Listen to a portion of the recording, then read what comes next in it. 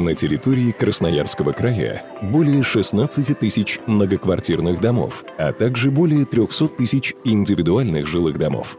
Каждый житель края ежедневно взаимодействует со сферой жилищно-коммунального хозяйства. Благодаря ей в наших домах есть тепло, свет и вода. Ежемесячно жители передают показания, сверяют начисления и оплачивают квитанции за коммунальные услуги. Но зачастую у потребителей возникает множество вопросов о предоставлении жилищно-коммунальных услуг. Для удобства граждан создана государственная информационная система жилищно-коммунального хозяйства ГИС ЖКХ. ГИС ЖКХ – это современная платформа, объединяющая всех участников рынка ЖКХ для достижения основной задачи – обеспечить простой доступ к широкому перечню информации.